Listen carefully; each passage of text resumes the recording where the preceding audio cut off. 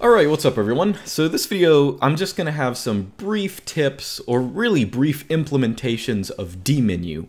Now, I've done videos on dmenu before, but there are so many, it's one of these programs that you can just get so much with uh, for so little that I find it very useful and I use it all over the place. I mean, if you've watched my videos before, so I, I use dmenu for a lot of things. Most people will use it for a run prompt, there it is up here. I use it also for, you know, selecting what kind of monitor I'm going to use, or uh, mounting or unmounting drives. I use it for a lot of things. You can check out my videos on dmenu if you want to find more more about those. Um, but I want to show you two implementations I've I've started to use relatively recently using dmenu. One is to type emojis. That's why I have all these emojis pulled up here. And another one is something I use on LARBS to um, uh, to uh, allow people to watch my videos remotely. Now, um, both of these implementations are really just one line. Uh, if you know what you're doing, you can very easily make a, a really useful user interface uh, with just one line of a shell script with dmenu inside. So I'm going to show you what uh, what I use this for. Now, originally, I mean, emojis, we'll talk about the emojis first. So emojis are all over the place nowadays. It's nice to be able to uh, type them. I mean, a lot of people, if you want to type an emoji, if you're not using like Twitter or Facebook or something where you can click on something, um, people end up searching them on Google or something. And of course, I'm not going to do that. Um, originally, what I did is I actually just went to this Wikipedia page and downloaded the source of it, the HTML source of it, and just ran operations on it to isolate. Well, I'll show you what I what I ended up with to get this file here. Um, this file that I've named Unicode, which is really just all the emojis on the left side and their name on the right.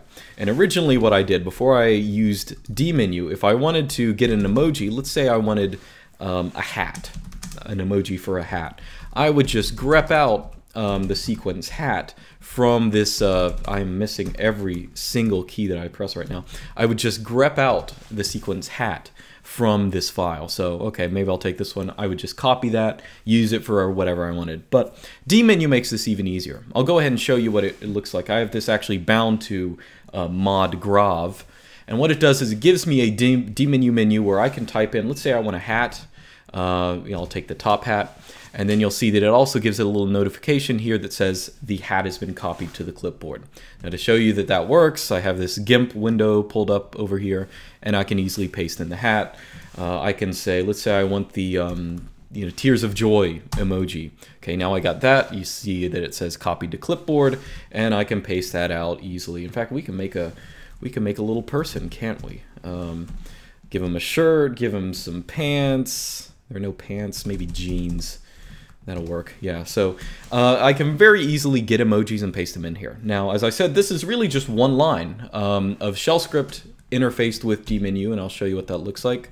Pull up yet another, uh, let's pull it up. I think I named it dmenu Unicode, okay?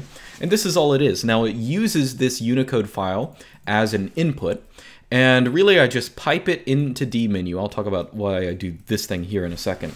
I pipe that into dmenu, and dmenu, of course, will treat each line as a different option.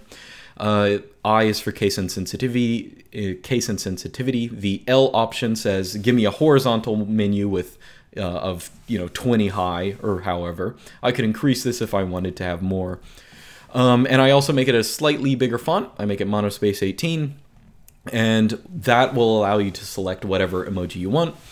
Then I just push it through awk so you only get the emoji. Push it through, get rid of the new lines because otherwise it'll you'll have a new line in the thing that you copy. But uh, basically it'll just copy that emoji to the clipboard. And again, this is really just in one line. And just to make it a little more clear what's going on, I added this extra line that'll just send, if you have dunst running, it'll send a notify send command that'll say, oh, you've copied, let's Let's uh, add some shoes to that guy. All right, so you've copied shoes to the clipboard. This line just gives you this uh, notification. Actually, I'll go ahead and complete our person over here. Uh, I think I missed the, uh, oh, maybe you just can't see him at this uh, level, whatever. Um, anyway, so doesn't really matter. Uh, so this is really just uh, something I've actually ended up using a whole lot. Uh, again, one line, that's all you need. And, uh, oh yeah, I said why I do this thing here. One thing about dmenu is if you have characters, if you give it characters that you don't have a font for, it's going to give a little error, or dmenu is going to crash. It's not even going to give an error. I shouldn't say that. Um, so what I've done here is all the, you'll see here in my input file, there are some characters here at the bottom that I don't actually have. So I've just marked all of these with a, you know, a pound sign, and my input command just says ignore all the lines, you know, only grep out the lines that don't have the pound sign. That's all that's for. And that's so I don't have a, a dmenu error. So depending on what font you have, depending on how complete your Unicode characters are, you might have to throw this on more. But um, I, I just have, I think, Noto emojis, Google Noto emojis installed, and that'll work for that. So you can check this out. This will be on my GitHub. Now the other one thing, um, now the other little dmenu tip is another script that I use. Actually, it's in the same folder. I shouldn't close that out. It's called tutorial videos. Actually, I'll just show you how that works first. Now, if you use my dot files, if you've installed LARBS or anything like that, one functionality is if you type uh, mod shift E, you get this little menu that says, what do you want to learn about? It gives you a couple options um, down here. Uh, let's say I want to learn about mutt, so I'll click on that or type that in. And this is this dmenu prompt, it'll take a second, but what this dmenu prompt does is it actually pulls up a video, it really streams a video from my channel. Uh, that's that's the goal of it. And this is so, like if someone wants to learn about something, they can just open this up. Obviously, I don't use this myself because, you know, you know, I did the video, so I know this stuff. But uh, for those of you who use LARBS, you might know that this is in there. So this is really just as easy to do. Uh, it is another one-liner, and I will pull this up. It's tutorial vids, and again, this is mapped in i3 to a uh, particular um, uh, binding. But um, here, really what I do, first off, I have a variable where I have uh, whatever the topic is and then a link to it separated by a tab. And really what this one-liner is, again, it's, it's super simple. All it is is you uh, take the video list, you grep out, there are some of these without URLs, and you, you know, only grep the ones with URLs. That's just so I can add the URLs, URLs later when, when I do the videos. And you, uh, I specifically wanted to only show uh, the first part, not the URL, so I tell sed to ignore the part afterwards, and then it'll give you that dmenu prompt. So what this variable is going to end up being is whatever the name of the thing you want to see is, and uh, or yeah, it goes a little further than that, but whatever. Um, then it's just going to grep. It's actually going to read this variable twice, which is you have to do if you don't want it to show the URLs. But but anyway, once you choose what you want to see uh, it's going to plug that into a grep command that's going to search through this again and basically get the URL. It's going to get the stuff after the tab and it's going to just play that in MPV.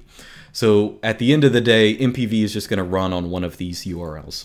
So this is another simple implementation of something in dmenu that I, I find very useful. Uh, again, just a, a, little tip, but hopefully my objective here isn't just to, sh to show you these things. I mean, I think the Unicode thing, at least everyone else can probably use. Again, it, both of these are on my GitHub. Um, but dmenu, I think, uh, is as a fuzzy finder, is something that's very useful and uh, a lot of people always have clever implementations for it. So again, check it out if you haven't already there are plenty of things that you could probably invent to use this for. But anyway, that, that's going to be about it for this video, uh, and I'll see you guys next time.